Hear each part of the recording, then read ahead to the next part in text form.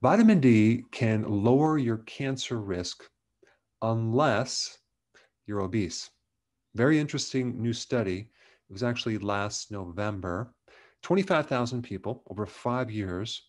And they found that if you have enough vitamin D, there's a 20% less chance of developing cancer unless you are obese.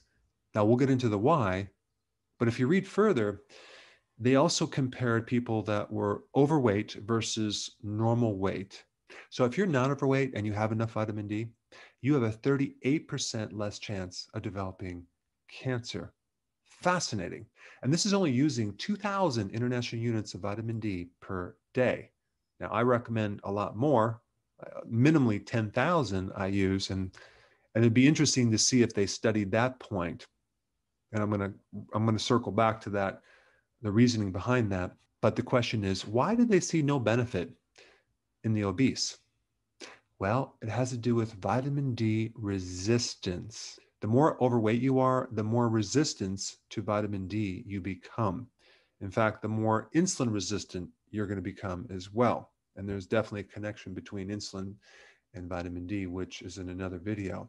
But the point is that if you're overweight, that vitamin D has a hard time getting in your body. And this also explains why people that get enough sun like in Saudi Arabia, for example, they're deficient, especially if they're obese or overweight. Now, obesity is linked with chronic low grade inflammation, and cancer tends to exist when there's more inflammation. It tends to spread in areas of inflammation. There's a high correlation with people with inflammation and cancer. Also, when you're obese, you have systemic dysfunction of the natural killer cells.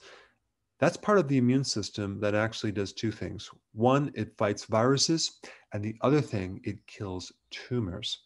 And so, if you're not having the full capacity of your immune system and you're getting inflammation, not a good combination to avoid cancer.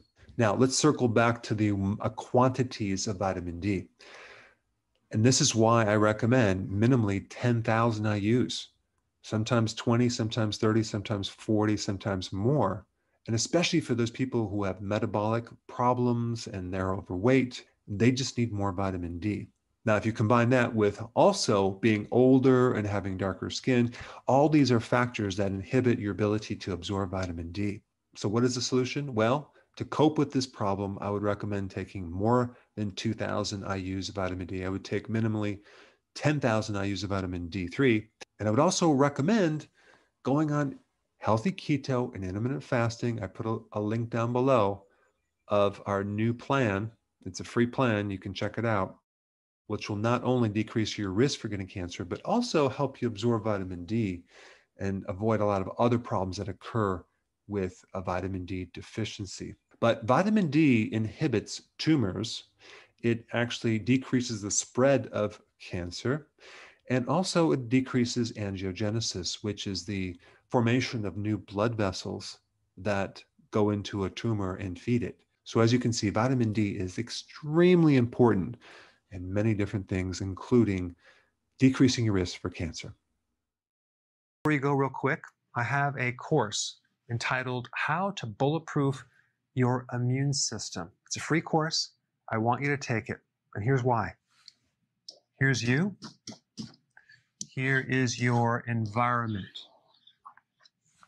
Everyone is focused on this over here, avoiding your environment. But what about here? What about strengthening your immune system? That's what's missing.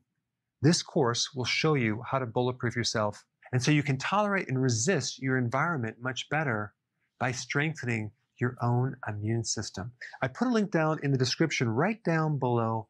Check it out and get signed up today. Hey, before